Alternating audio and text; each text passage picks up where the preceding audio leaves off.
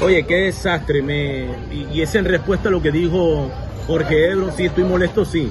Jorge Ebro y el Tonga. Me llamaron, en pocas palabras, Jorge me llamó ratero. Que no di la cara. Aquí traje un amigo de verdad porque al final no sé si son mis amigos y el Tonga me vendió al aire. Aquí tengo a mi defensor. ¿ves? Rateros, Jorge Tonga, ¿qué carajo están hablando ustedes dos? Es Andresito, Andresito, la leyenda.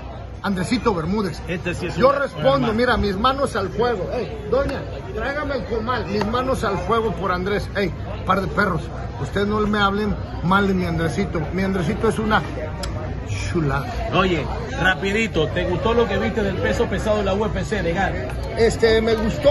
eh, no salí completamente complacido de lo que vimos de los pesos completos, pero bueno, a veces sabemos que en UFC algunos eventos son espectaculares y otros. Te pregunto algo, si es un peso pesado, ¿te gusta que, que dé acción? Que Ah, busque el por knockout.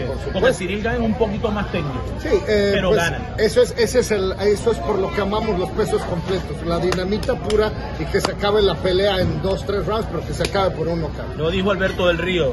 Después los veo. Cuando yo quiera, voy a Miami. Chao. Ahí nos vemos, perros.